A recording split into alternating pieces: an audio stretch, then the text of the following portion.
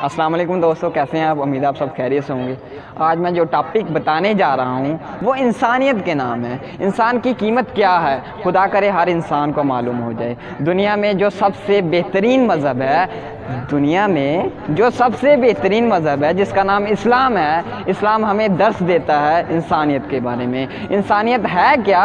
मेरे दोस्तों अल्लाह के बनाए हुए बंदे ख्वा वो किसी भी मज़हब से मज़हब से तल्लुक़ रखते हों किसी भी मुल्क में रह, रहते हों उनमें फ़र्क ना करना इंसानियत है। हाँ मेरे दोस्तों फिर इस बात से कोई कोई भी लेन देन नहीं रहेगा कि जब आप कौमियत या किसी काले गोरे में फ़र्क ना रखें। ये इंसानियत है। नबी करीम का दौर मुबारक था कि आप एक दिन वादी ताइफ, तशरीफ़ ले गए। उनको अहले कफ़ार को इस्लाम की दावत दी। लेकिन आप पर नौज़ बिल्ला उन पर पत्थर बरसाए गए। अल्लाह के हुक्म के मुताबिक हज़रत जब्राईसम हाज़िर हुए सज़ा का हुक्म लेकर। आप ने फरमाया, ए जब्राइल, मैं अल्लाह से इनके लिए हदायत माँगता हूँ। आप के इस अकदाम ने हमें इंसानियत का सबक दिया। इससे बड़ी हमें इंसानियत की मिसाल मिल ही नहीं सकती।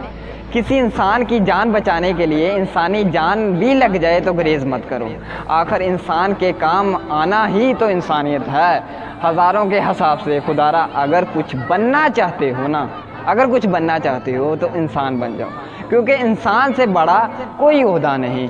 जो आपको तंग करता है जो आपको तंग करता है, उसे माफ़ कर दो। जो आपके काम नहीं आता, आप उसके काम आओ।